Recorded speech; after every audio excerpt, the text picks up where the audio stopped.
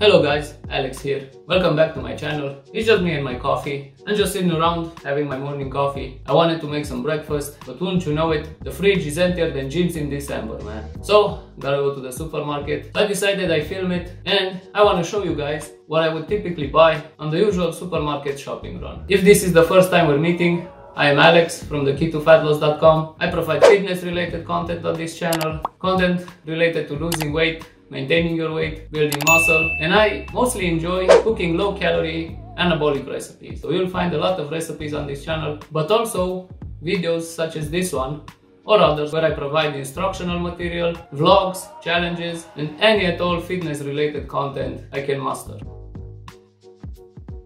And I know you shouldn't be drinking your calories but I cannot drink black coffee. I always add 100 ml of skim milk to my coffee and that's a huge coffee cup by the way. That's how I like my coffee. So yeah, let's go see what supermarkets have in store for us today. Okay, so we're going out for a bit of a shopping run. I'm low on supplies, so let's make our grocery haul.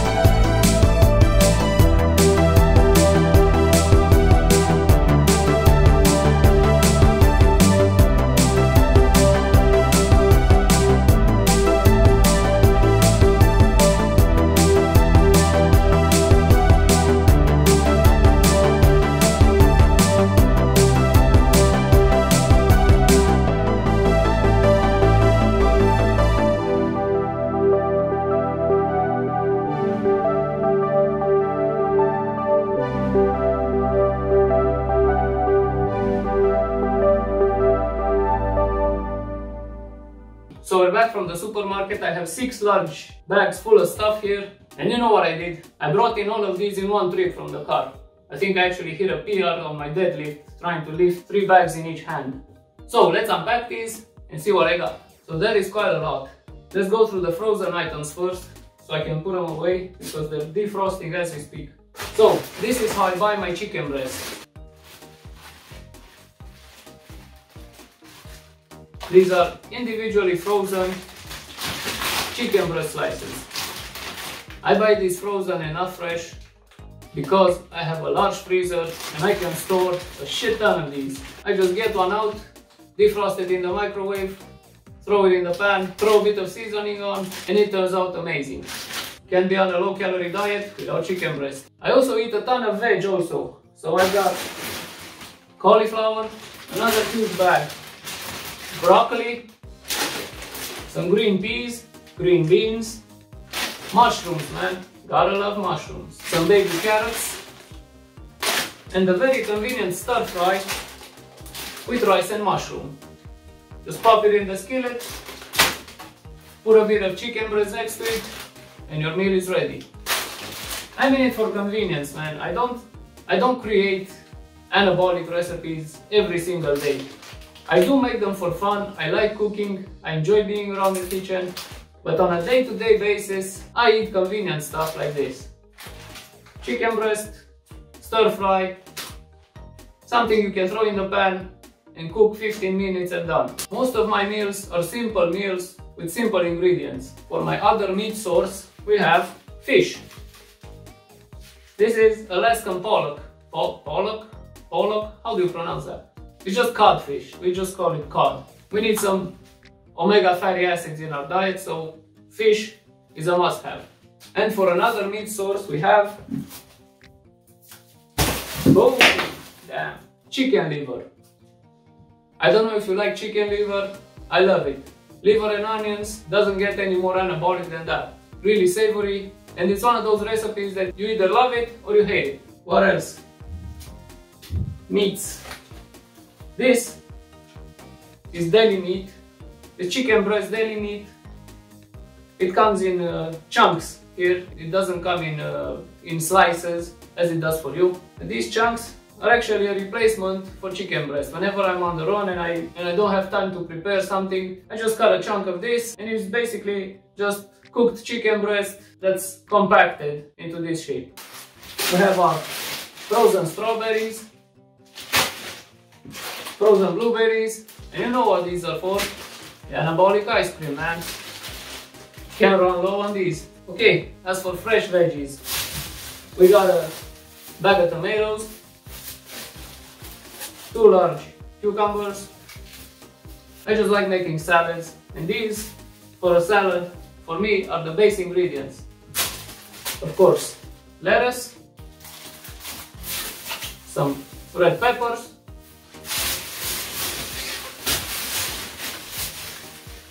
big bag of apples. We're gonna be making an apple crumble later. Videos right there. Go watch. Potatoes. Potatoes. These are my favorite go-to meal because I just pop them in the oven, put a little seasoning on them, they'll be ready in like 20 minutes. And I gotta say, I've been into low calorie eating for over 5 years now. I don't know if my taste has changed, but I prefer the oven fries more than regular french fries. What else? This is low fat cream cheese, 0.2% fat. I use this in almost all of my recipes this is so convenient, along with the Greek yogurt of course. This is 0% fat. Greek yogurt and cream cheese are really really helpful as they have tons of protein and a very small fat content. They're so versatile in every recipe. Next, milk. Milk. This is how I buy my milk. This is the cheapest one I can get because almond milk, just look at this. This is the price for the regular ass and that's the price for almond milk. I know the currency doesn't tell you much, but just look at the number itself. Almond milk is 4 times the price of regular milk. So no thank you. I'm going with the plain ass white milk. I'm sticking to the regular tiri milk. Next we have light mozzarella cheese. This has 8 grams of fat and 157 calories. These go amazing on a pizza along with these tiny mozzarella balls. These go really well with some low calorie pizza sauce. Next, we have a light cream cheese spread. This is a really light spread. You can just throw on a piece of toast and it can be a really filling breakfast. This is 64 calories per 100 grams. Here we don't have serving sizes. Every calorie and macro we get on the packaging is per 100 grams. So this entire thing has about 130 calories. What else? The lowest calorie ketchup I can find and the lowest calorie mustard. These are a must have. I eat a lot of mustard and ketchup. I usually use these together. I use them in wraps, I use them in salads, and complementary to these, I get this baby. That's the KFC garlic sauce. I don't know if KFC sauce in your country is full of garlic like it's here, but we're in Romania with all the vampires running around. We need a lot of garlic. So KFC sauce has 295 calories per 100 grams, but you only use just a few squirts of it. It adds 30 calories to your recipe, but adds a lot of taste to it. This is really worth the calories, guys. Speaking of sauces, this is a must-have in my kitchen. This is light soy sauce. This helped me get into chicken breast because I couldn't eat it without it. Chicken breast is always so dry, so you need to add something savory, you need to add some moisture to it, and I found that soy sauce works perfectly together with it. So this is about 60 calories for the whole thing, and you'll, you'll be using just a small bit at a time. From the bakery aisle, I got some Oreo powder, gonna be making some Oreo cakes. Here we have some light whipped cream. I don't know if you can get this, not this particular brand, but this has crazy low calories. It only has 120 calories for this entire package. You just mix this up with 150 ml of water, it makes a large bowl full of whipped cream. Here we have some pudding mixes for our anabolic protein ice cream. This is the chocolate, this is the vanilla flavor, and this is the white chocolate hazelnut flavor. What else? I got a bunch of seasoning. This is cinnamon, red paprika powder. This is baking powder. This is how I can get baking powder. I'm buying quite a lot of these.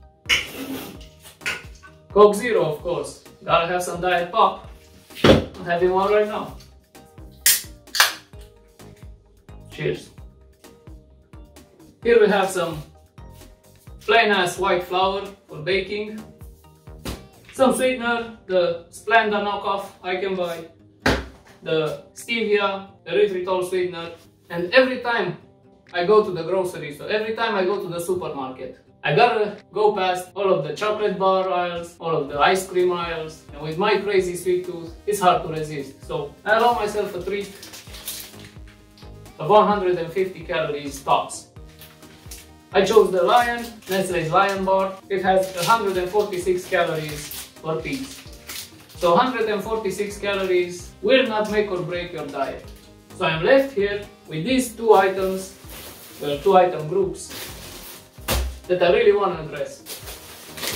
We have four different types of bread and we have some canned kidney beans and chickpeas.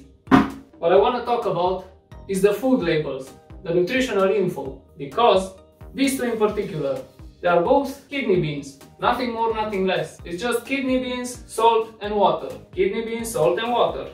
The same, the same. This claims it has 83 calories per 100 grams. This one claims it has 53 calories per 100 grams. And this one has 110. So how do you know which one is real? How do you know the truth? Well, you gotta do some research. You cannot trust the labels. Labels lie. They have a right to lie. They are allowed to lie because, at least in my country, no one gets to verify these labels. These companies, each and every one, will do everything in their power for you to buy their product. They're on to us. They know we're counting calories. They know we're looking at the macros you have to do research and see exactly what red kidney beans have by default and not trust these labels. I'm just assuming the one that says it has 53 calories per 100 grams, I think it also included the water these are in. The one that says 110 only refer to the red kidney beans themselves and not, and not the water in these. So it's just assuming. With chickpeas we get the same thing. The brand I had before said 120 this one says 72 calories per 100 grams. You gotta pay real close attention to the labels and you should not trust these labels because they will knock you off your calorie deficit. So be very careful with labels. The same thing happens to bread. This brand is the one I usually get and it's made with gram flour. We have 57 calories per slice. This is just regular ass white bread. See, toast, classic, this is 75 calories per slice. So 57, 75. This one claims to be even lower in calories, but that is because it has potato flakes. So it's a potato bread. So I can believe this has lower calories. Why? In order to reduce the calories from this regular ass white bread, how do you reduce the calories of something? You mix it with something that's lower in calories than all of the other ingredients. So the main ingredient for this is white flour, which is uh, which is 80% of the entire thing. If you replace the white flour with gram flour, you get lower calories. If you add potato flakes to your bread, potato is lower in calories than white flour, you can get a lower calorie bread. So, I believe these to be true and not lie on the label. What does this guy do? These fuckers claim their bread has 32 calories a slice. 32. When the best I can find is 57.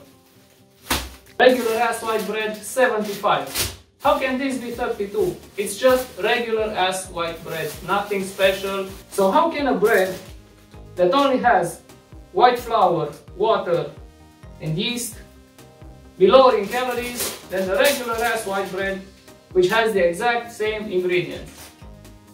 The answer is it can't. These are liars. These are all lies. Don't trust the labels. Do research. Make sure if something is lower in calories, make sure it makes sense. The lower calorie count must come from somewhere. You can't just slap on a label and add less calories, less of each macro and say your bread has 32 calories a slice. When in fact you look at it, you taste it, you see, it's just regular ass white bread. There's not, no replacement, no substitution of ingredients, no added ingredient that's low calorie, nothing. This has the same calories as this, even though the label says it has three times less. So don't trust these labels, guys. Labels lie to you, and that will certainly knock you off your calorie deficit. You need to do your own research. We got it easier here because we don't have serving sizes. In the US, beyond the calorie count, you also have the serving size. And I saw quite a few articles mentioning products that had crazy serving sizes like, like this one here. I actually got a bunch of laughs from this one. It actually made the serving size of half a cookie. Half a cookie, man. Who eats half a cookie? So pay attention to serving sizes, pay attention to calorie counts, and always question the labels. Don't trust the label because just because you see the calories and macros are good, check the ingredients. Make sure that's true and they're accurate. So I think I've rambled enough for this video. If you like this type of video, let me know in the comment section below. Hit the subscribe button, hit the bell notification icon. Watch these two other videos posted on the screen now.